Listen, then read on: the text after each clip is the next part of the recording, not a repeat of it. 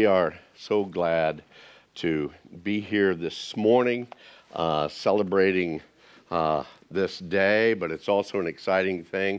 We've determined um, uh, a month or so ago to go through the book of Philippians as kind of the closing passages of uh, the message that I feel that God has given us for the fellowship here. And I'm excited about that. But before we get into that, I do want to thank uh, uh, Josh Smith and uh, Jake Carnes and several others who were very busily uh, active over this last couple of days finishing up the front canopy out here. And amen. Literally, they were here, I believe, what, till 10 o'clock last night, Julie, finishing it up so it'd be all uh, final and everything for, for that. So, greatly appreciate all the hard work on that.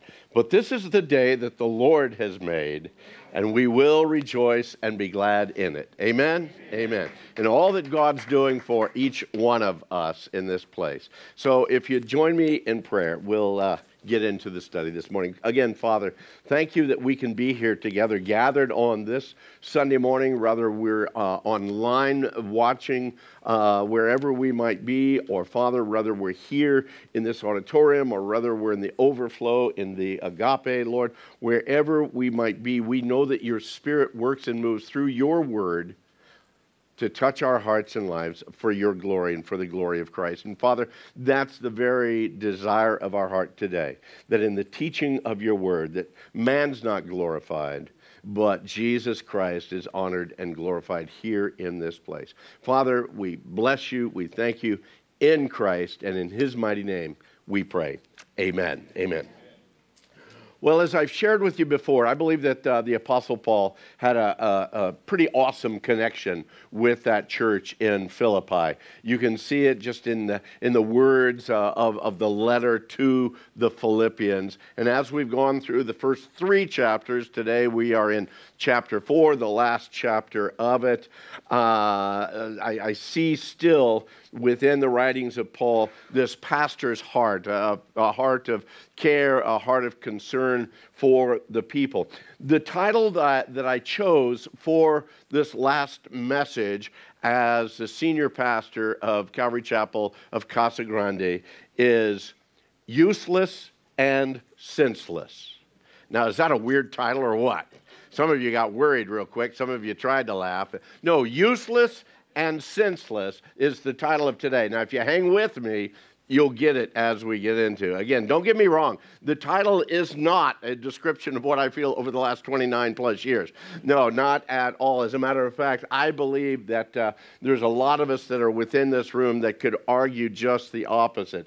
That the last 29 plus years have been a time really of true spiritual growth and, and, and purposeful ministry in a lot of lives that we've touched. Some that are here today, some that have been here and have moved on, some that are no longer longer with us or with the Lord right now, some that are living in other parts of the nation. Uh, some still in Casa Grande, they're just not here, but God has touched and moved on their lives, I believe, through the work of this ministry. And when I say this ministry, you need to understand this is not David Landry Ministry or Harvey David Landry Ministry, okay? This is a ministry of the Lord Jesus Christ. And it's through his hand, through the work of the Spirit, that God has moved in this place. The greatest blessings I believe that we've had together is to be able to see God moving and working in the hearts and the lives of individuals and families, the people that God's brought through the years to be a part of Calvary Chapel of Casa Grande. So just hang in there with me, and I believe that you'll come to understand the title of the message pretty soon. I find it pretty interesting that as Paul kind of finishes up this short letter, that uh, almost the very last word that he gives, uh, he shares about a situation of some difficulty that was going on between two of the women within the fellowship. They're kind of having a hard time, apparently, with each other. Some sort of a conflict, some sort of a, a struggle that, were, that they were having. Now, guys, don't get too prideful in this and that they were saying it was two women. No, guys have those problems too. Amen? Yeah, all the women ought to be saying amen for sure. But uh, We actually shared uh, the first verse of chapter 4 last week in closing chapter 3 because I felt that it really tied in with what we heard during that section. But it does also fit into this next and coming session. So, verse 1 it says, Therefore, my beloved and longed for brethren, my joy, my crown, so stand fast in the Lord, beloved. Again, that heart that, that Paul has for these people. So, uh, my beloved, uh, my joy and my crown. Paul knew that the impact of the ministry that God put through him to those people would count again for him eternally. That joy, that crown is what he speaks of. And I, can, I could use those very same words this morning in speaking of this fellowship. My beloved, my joy, and literally our crown because uh, Todd has put as much, if not more, work in this ministry. I am re- I'm listening to that proclamation from uh, Mary McFarland. I said, her name ought to be on that too because uh, had she not been there, none of this would have uh, been it. I would have gone out and bought a motorcycle, guys, and hit the road long ago. So. Paul tells the church to stand fast, and we spoke about that last week. Again, that need that all of us have to stand firm and stand fast against the craziness of the world that's going on around us right now, today, as well as the continual attack of the enemy down through the ages. To stand fast and to stand firm, no longer swayed by all the things of this world. So now let's move on into chapter 4, uh, verse 2. Here's where Paul says, I implore Euodia and I implore Syntyche to be of the same mind in the Lord. These are the two gals who are having the problems. I urge you also, true companion, someone that we don't know, he's writing to another person. Some people say, well, the Greek word for true companion could actually be a man's name, and maybe he's writing to a particular individual here. But anyway, verse 3 I urge you also, true companion, help these women who labored with me in the gospel, with Clement also, and the rest of my fellow workers whose names are in the book of life. So you've got these two women, Euodia and Syntyche, or as uh, some have come to call them, instead of Euodia, call her useless, and instead of Syntyche, call her senseless. Useless and senseless. How sad it is that, that the, the, the most important thing remembered in their ministry is that they were contentious with each other as sisters in the Lord. This is all we know about them. Now, all through the ages, useless and senseless, fighting against each other and not in harmony, laboring together in the Lord as they had been in the past. These two women had assisted Paul in the furtherance of the message of the gospel, and now there's this something that's going on in their life that's separating their fellowship from each other. And more importantly, I believe also it definitely is separating their fellowship with the Lord Jesus. When pride and arrogance come into play, you need to understand our Lord is gracious. When pride and arrogance come into our life, He just backs up and gets out of the way. If that's what you want in your life, you run with that. And as that, that great theologian, uh, Pastor Phil, says, how's that working out for you? Okay. The women were doing battle mental battle, spiritual battle, whatever kind of battle it was, I guarantee you there, there, was a spiritual aspect about it all. And because of that battle, that's why they became useless and senseless in the work and in the cause of the gospel disputes and contentions, guys, they're always going to come. If you've been here for very many years, you know that in this ministry, through the years, there's been some disputes. There's been some battles. There's been some brothers and sisters that came here and were part of this ministry, and for one reason or another, felt that they needed to leave and, and go someplace else. And uh, what I learned long, long ago, and I, I'm going to pass this on to you bless them in their coming and bless them in their leaving. Because who knows but that the Lord might cause them to come full circle and come back. And you don't want to be the one that closes that door, okay? You want to be the one that's gracious and loving, even when there's a contention.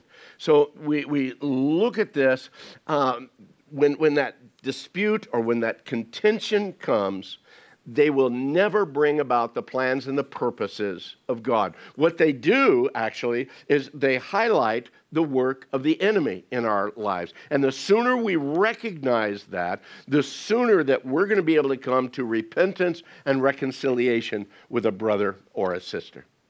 These women had served the Lord together in the furtherance of the gospel. Now their lives have become useless and senseless due to the conflict that was between them. And here Paul calls on some of the others within the fellowship there in Philippi to come alongside these women, to not, not in condemnation, but to come alongside of them in love and encouragement to help them to see the error of their ways. And once again, you see being worked out in a very practical way Proverbs 27 17. As iron sharpens iron, so one man or woman sharpens another. We come together for the furtherance of the gospel. We encourage each other. We strengthen each other. When conflict comes, others around us need to come and challenge us again to bring come back to reconciliation. We need others within our lives to keep us sharp and to keep us on track. That's why someone who says, Oh, yes, I'm a Christian, but they never have fellowship at a church. Well, I just haven't found a church that I liked. Well, uh, I'll be the first to tell you, as the pastor of Calvary Chapel of Casa Grande, this ain't no perfect church, okay? We, we are not perfect. The day that that guy started that ministry back in 1991, imperfection came into it, okay? And from there, we just joined in a whole lot of unperfect people, and we are on the journey together. Amen? As again, chip stained vessels, but we carry about that precious, precious gift within us, that priceless treasure of Christ within us. Do we need to speak the truth? Absolutely. And when there's conflict, we need to speak the truth, but as the word says, we speak the truth in love. And I believe that Paul is all in that on that love portion. Look, guys, don't let these two gals continue that way. Surround them, encourage them, strengthen them. They were fellow workers together in the hope of the gospel. I believe that next, Paul, as we're moving on, I believe that next, Paul gives us some instruction, uh, yes, on, on dealing with contention and bickering, not only between these two women, but also throughout the whole body of Christ. Look what, uh, what he says there in verse 4 Rejoice in the Lord always. And again, I say, rejoice. Let your what, church? Your right answers? No. Let your attitude? No. Let your gentleness be known to all men. The Lord is at hand. Paul believed that at any moment, at any day, the Lord Jesus Christ could come back for his church. And beloved, you and I need to see that because I believe that we are closer now than we have ever, ever been, not just because of the time factor, but look around you. Open your eyes and look around you. I think that I hear trumpets being war- a trumpet being warmed up even right now. Uh, we, I believe that we are that close. So why would we take time out of what the Lord has for us here in this place, here and now, and be involved in bickering and in battling? Shouldn't we, again, in humility, come before that brother and sister and seek to be reconciled?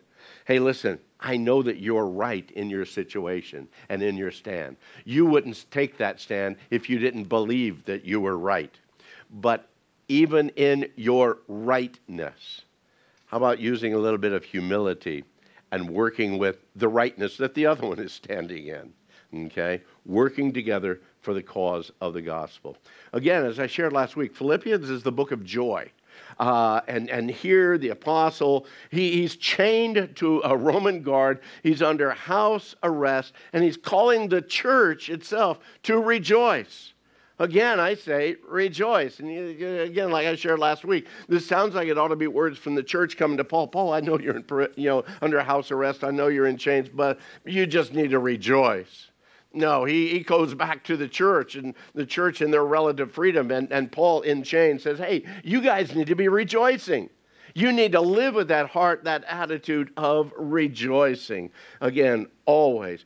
Guy Duffield, in his book on theology, writes Joy is love's reaction to God's mercies, blessings, and benefits. Christian joy is not, however, dependent upon circumstances. The joy, which is a facet of love, trusts God even in the midst of trying circumstances. Mere human joy looks at things upon earth and is affected by the condition of earth. Christian joy, which is a fruit of the Spirit, looks heavenward and remains steadfast despite the surrounding conditions because heaven's benefits are unvarying. And he writes, when the Spirit of God fills an individual, the joy of the Lord is bound to be there. For as the psalmist declares, for in thy presence is fullness of joy. Let's face it, guys, there's a lot to be distracted by in our present culture all the junk that's going on, just absolutely amazing. Some of it righteous indignation from, from acts that were wrongly done, but then others have taken from that and blown it up just to be anarchy and wickedness. And it's all over us, great turmoil. Every, ever since sin entered into the equation through that disobedience of Adam and Eve in the garden, the wickedness of man has continued to rage and has continued to bring, again, destruction. So, Paul, the guy in chains, the guy that's under house arrest, he continues his whole line of thought as he continues to encourage the church now in verse 6. He says, Be anxious for nothing if you write in your Bibles, I'm going to give you this one more time. If you write in your Bibles, and I encourage you to, circle that phrase be anxious for nothing. And if you don't want to write in your Bible, lean across and write in your neighbor's Bible, okay? but be anxious for how much, church? Nothing. Yeah, but what kind of a things are we supposed to be worrying about right now? Yeah, but what about things that, that we see on TV, we see on, on the internet? What are those things do we worry about? Be anxious for how much? Okay, does that make, am I, are we driving that in? Because I know we guys, we need repetition a lot in order for us to get it. Be anxious for nothing, but in everything, everything, by prayer and supplication. That's another one you need to write, circle around, draw arrows to, put stars next to, however you want to mar- mark it. With thanksgiving, let your requests be made known to your best friend. That's a tricky answer. Because who ought to be our best friend? Amen. Let your requests be made known to God. Who do I share my troubles, my trials, my frustrations with? Absolutely, my wife, my best earthly friend. But you know what? Most of those she can't do a thing about. Most of those she's kind of in the same quandary I'm in. But you know what? We bring everything to God.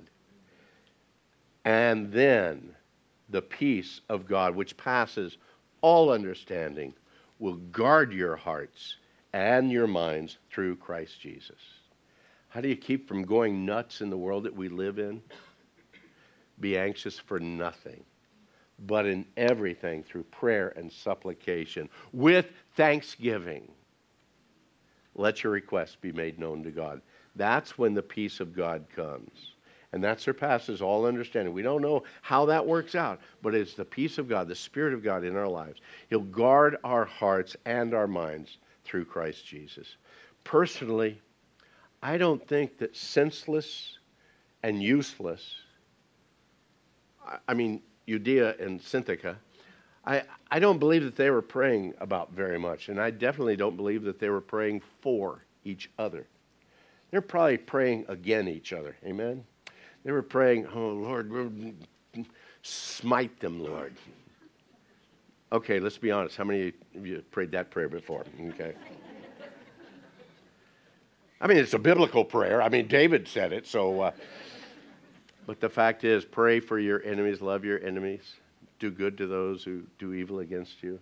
Jesus, yeah, it's funny, Jesus had the right idea, you know. We, again, put all those things before the Lord. Once you and I, as followers of the Lord Jesus Christ, determine to grow in our desire to focus on the Lord Jesus and our need to walk in the fullness of the joy that comes from Him, that's, that's the only time then that God's peace is really and truly going to fill our hearts and will no longer, we ourselves will no longer be useless and senseless in our life choices or in the purposes of the kingdom. So, how do we do that? Paul gives us the answer.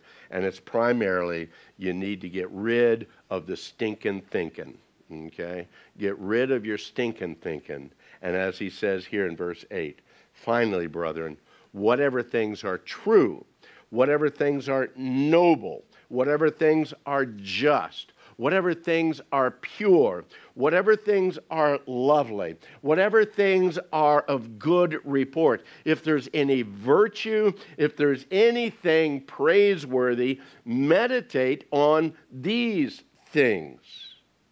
The things which you learned and received and heard and saw in me, these do, and the God of peace will be with you. You want the peace of God in your life? Get rid of your stinking thinking and start thinking and meditating on those things that again will encourage and strengthen you, but even more than that, give glory and honor and praise to Christ. Don't let the things of the world drag you down to its level. We're so easily drawn there. No, we need to get rid of that and turn that around and keep again our eyes, our focus on Christ. All we need to do is watch the nightly news. You know, Check out the uh, national news updates, man. You get them dinging on your phone all the time. Oh, this is going on, this is going on. Uh, you, you, start reading posts on Facebook or, or, Twitter or Instagram, and suddenly we, we find out that the world is just absolutely insane and crazy. And why do those guys do that? And I'm so upset at that, and I think that I ought to do that. And man, it's a good thing for them that I'm not. And then pretty soon, man, we're down into the stinking thinking right with them. Amen? Or is it just me? I don't know useless and senseless thinking and responses, vile and wicked actions and purposes. Guys, that's what's being spewed out by the world. And unfortunately, the church can get caught up in it very quickly.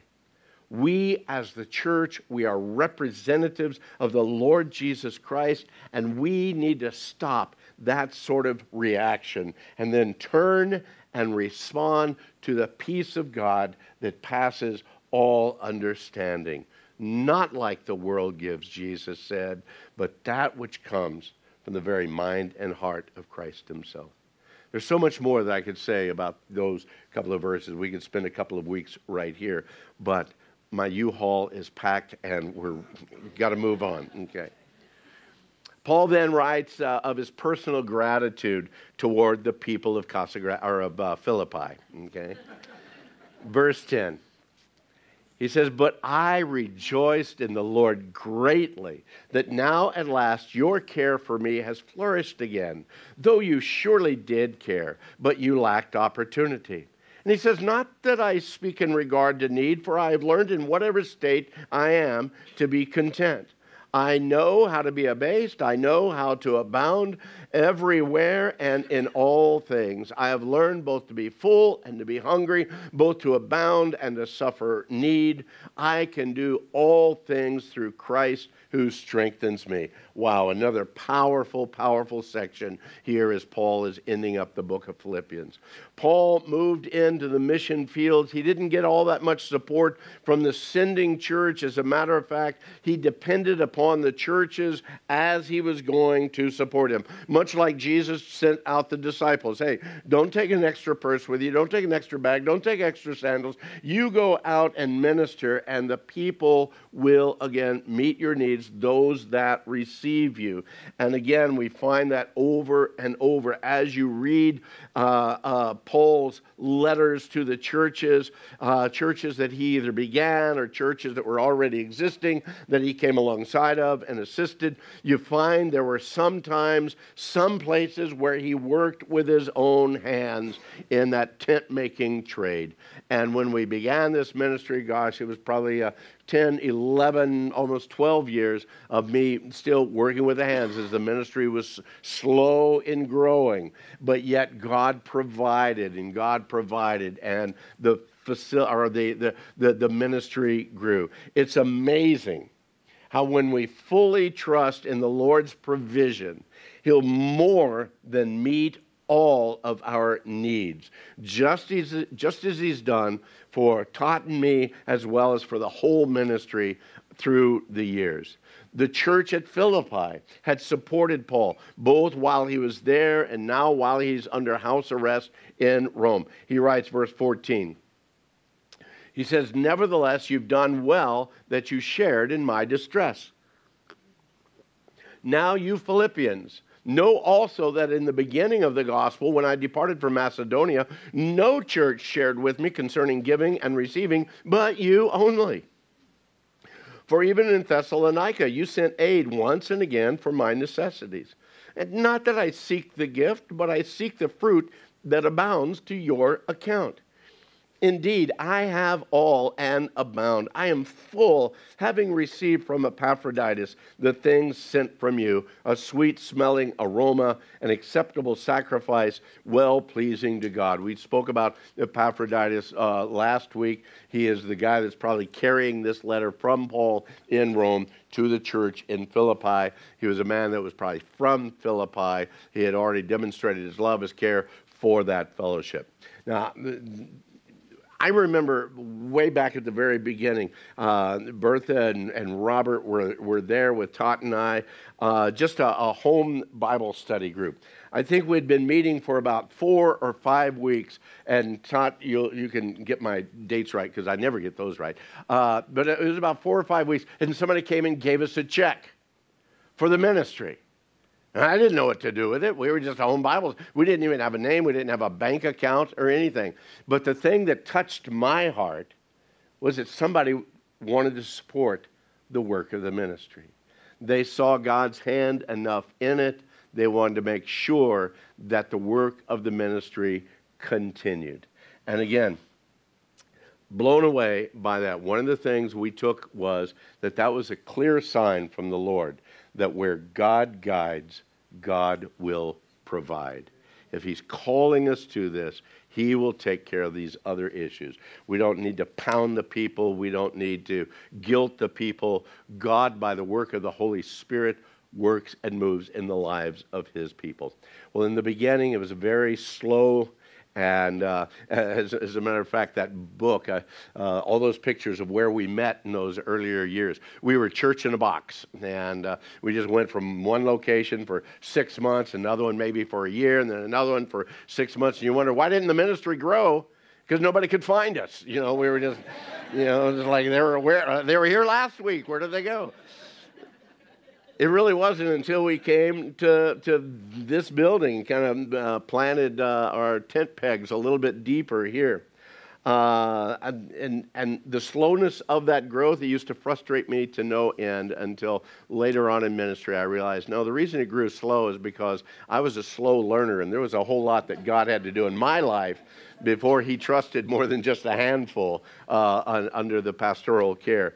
Again, I, I stand amazed today as I look at literally the hundreds of people that call Calvary Chapel of Casa Grande home. That's one of the reasons why we love on Resurrection Sunday. Uh, back when we had we're down at the property, we'd have everybody all together. We'd have the different congregations stand up because by and large, so many of you love that little oh 100 150 people that go to Calvary Chapel of Casa Grande. It's a nice, sweet little fellowship. And you don't realize that the ministry actually, including the Spanish ministry right now, is, is around 500 people. You know, uh, we, we had our Saturday night, our two Sunday mornings, and now the Spanish ministry. And, and again, God has blessed in such an amazing way. He's been faithful through it all.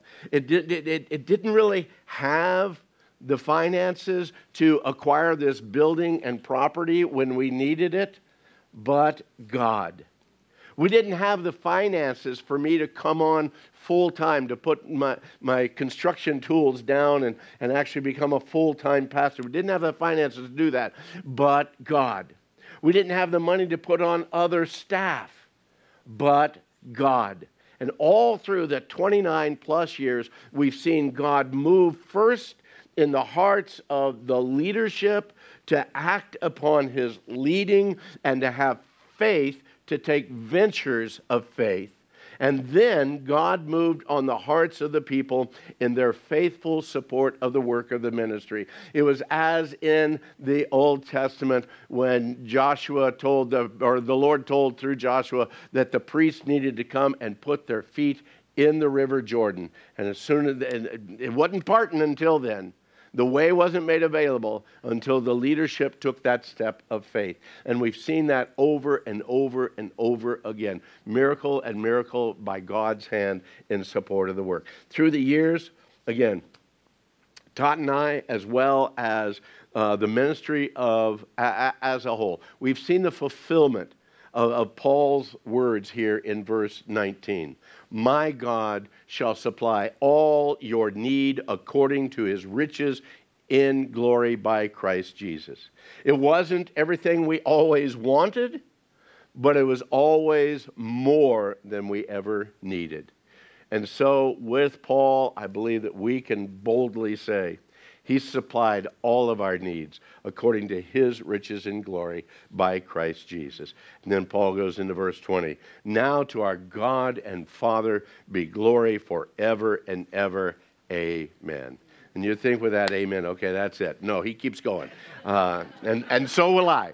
Uh, in, in, many of Paul's epistles, near the end of them, he lists, uh, he gives a list of uh, individuals within that ministry that have been a blessing, uh, names of those that he sends greetings to, or those who were with him. Uh, he, he, doesn't really do that so much here uh, uh, in, in, in the book of Philippians. He does it a little bit different. Verse 21, he says, "Just greet every saint in Christ Jesus, and the brethren, all of them that are with me, they send greeting to you." We get, you know, at the beginning, Paul and Timothy there, and then a little bit later we get uh, Epaphroditus and Clement and uh, Useless and Since, or Euodia and Syntyche. Uh, we get those few names, but at the end he kind of clumps everybody together. But look what he says in, in verse 22 All the saints greet you, especially those who are of Caesar's household. If I were to take the time this morning to mention all the names of the saints that have gone through this ministry, that have impacted this ministry in a positive way, uh, we'd be here all afternoon. And the unfortunate reality is, is I'd probably miss about half of them because of where my brain is right now. But uh, not all of them, and not all of you, came through these doors as saints. Some of you are even here today when uh, I made it pretty good thus far, though. Mm. Yeah. Some of you came here, or uh, when you first came to Calvary Chapel, you didn't know the Lord Jesus. You came to a saving knowledge of Christ through this ministry and the witness of countless individuals that have been a part of this ministry. Some of you came to this ministry, you were already a believer in Christ, and here you were ignited in, in your passion for the Lord and for His Word and for service to the Lord. Or maybe you came here and you already had a growing and a thriving relationship with Christ, and here at Calvary Chapel of Casa Grande, you found family. Once again, it's the work of the Holy Spirit moving in and through willing and hungry hearts. Calvary Chapel of Casa Grande has simply been a conduit, again, of the faithful teaching of the Word and hopefully a place of peaceful refuge. One last thing I want to bring out here. Paul does speak about those that are of Caesar's household. And I think that from here we can pretty well correctly surmise that while Paul was under house arrest, not only soldiers hearing the testimony of Christ, but apparently some of Caesar's household, either family or servants, we don't really know the way that it's framed. But anyway, they too had come to a saving knowledge of Christ because Paul was in chains. So stop and think about that for a moment. And I want to make sure that you get this out of this message also. Outside of Paul's arrest and being in Rome, where would they have heard or received the hope of the gospel? One more reason for you and I to be content wherever the Lord has us is that He may be working out through the difficulties that we're facing.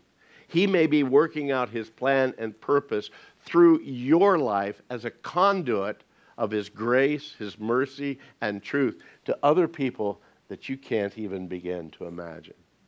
So when the trials come, be content in the Lord Lord, I trust you. I don't like this situation. I don't think there's a day that Paul would have said, This is really cool being chained to a stinking Roman soldier 24 7. I don't think there's a day in his life he, he thought that that was great.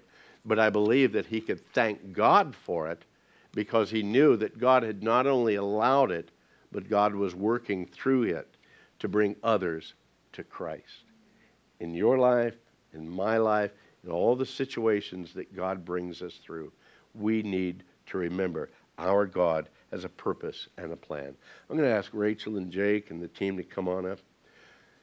Guys, our, our, our job isn't to figure out why you are where you are, why you're going through what you're going through. Your job, my job, our job together is to, to simply be found faithful to the Lord's leading in our lives.